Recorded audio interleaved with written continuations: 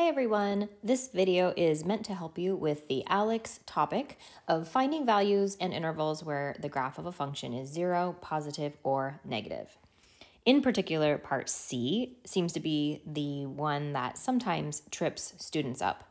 But let's go ahead and do A and B first, we'll get to C next. Is f of 5 negative? So remember, when you are seeing function notation like this, f of 5, Whatever is in the parenthesis, that's your input. That's telling you that x is equal to 5. And then it's asking you for the output. So it's asking you to find the corresponding y value when x is equal to 5. So looking at our graph, if x is equal to 5, looking at the graph, that's the coordinate right here. The y value there is positive 4.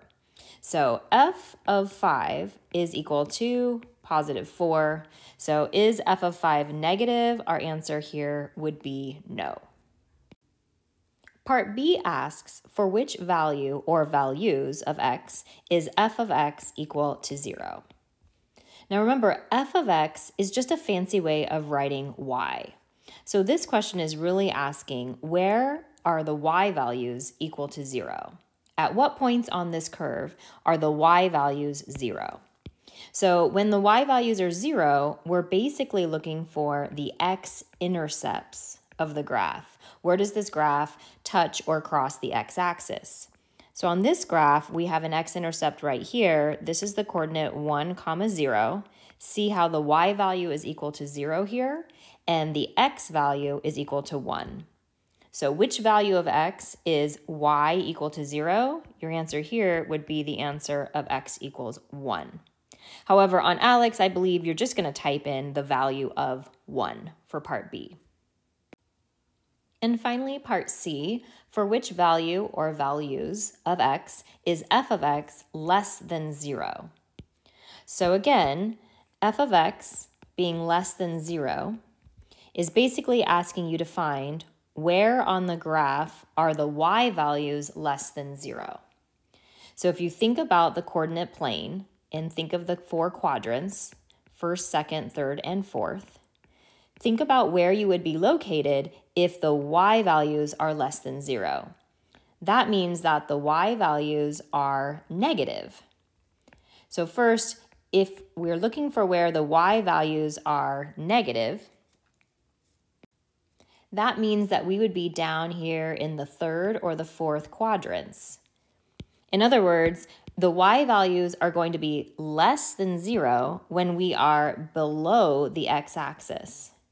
So another way of asking this question, this question is really asking what intervals or what parts of this graph are below the x-axis. So if I highlight the portions of the graph below the x-axis, on this example, we see there's just one piece of the graph that is below the x-axis. And it looks like that piece of the graph goes from an x value of negative 3 to an x value of positive 1. So we're looking at an x interval from negative 3 to positive 1. But now we need to determine whether we want to include or not include these two values. In other words, we have to decide whether or not to use parentheses or brackets. So that requires a little bit more analysis. It's not quite as simple as just looking at the inequality sign. I don't want you to look at this less than sign and assume that there's going to be parentheses on both of these. That's not going to be necessarily true.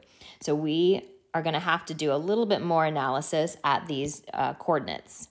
So take a look at this left-hand endpoint. The coordinate here is negative 3 comma negative 2.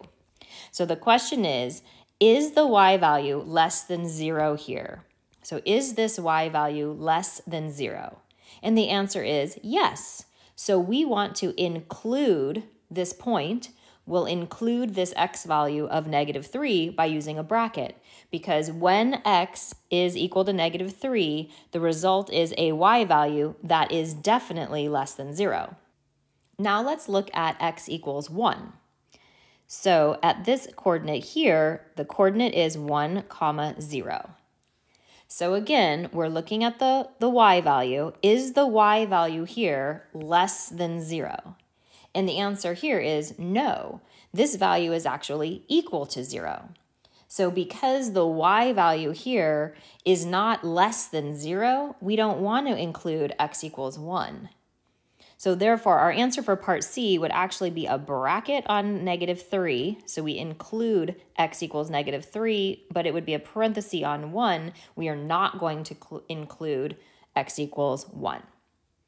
So, moral of the story here, you really have to look at the y values and look at the inequality to see whether or not that inequality is true or not. If it is a true statement, then you could include the value, but if it's a false statement, then you do not want to include the value.